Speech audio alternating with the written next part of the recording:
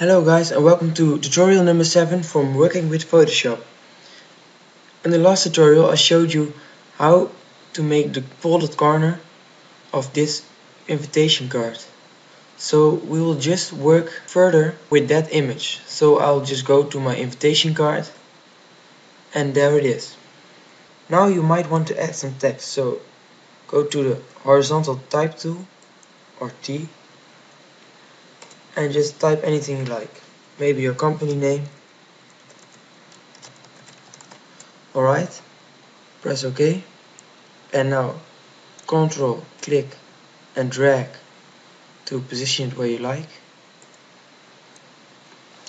And maybe add some more text if you like. But I'll just keep it this way. And I'll fill it to maybe 66% to make it some more transparent. Now you want to add some brushes to your invitation card. So you will go to your brushes and click on the arrow. But they are all standard and boring. So I will go to coolestbrushes.com. And if you just search a bit, you will find some pretty cool brushes. So I will go to the Photoshop flower images and I look very good at the description. It says free for personal and commercial use in art projects and graphic designs. So this one is completely free. So click on download.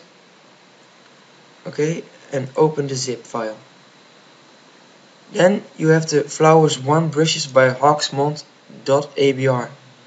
Double click on it and now they are in Photoshop. Press the arrow again and there are all your flower brushes.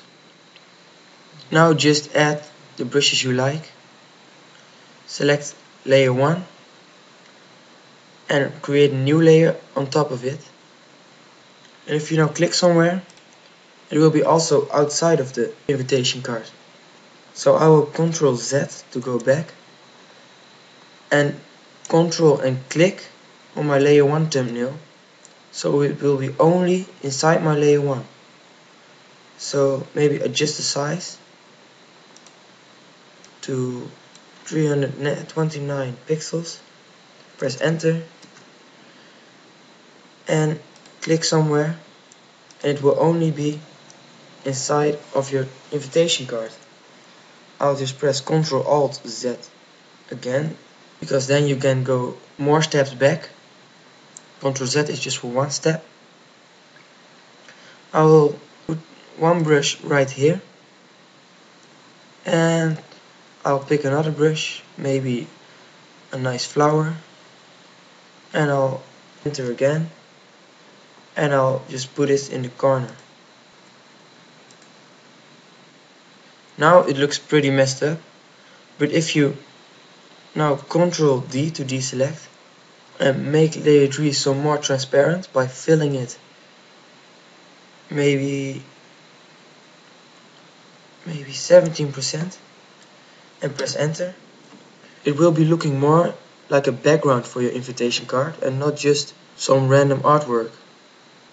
You could add any brush you like, any color you like so you can make very cool stuff after you learn this tutorial. And maybe you want to color up your background so place a new layer on top of background and maybe add some brushes, maybe some flowers, just to make your background a little bit nicer. And there it is, your own invitation card design. I hope you learned something today and I hope to see you soon in the next tutorial. A download link for the brushes will be in the description below.